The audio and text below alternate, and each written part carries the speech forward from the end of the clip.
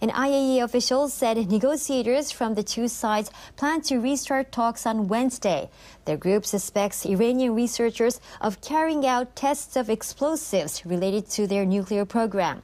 But the investigation has been stalled because officials in Tehran have failed to provide information about the activities. Iran needs to regain international trust by clarifying questions over the possible military dimensions of its nuclear program. Iranian authorities had promised to provide their information about the alleged test by the end of last August.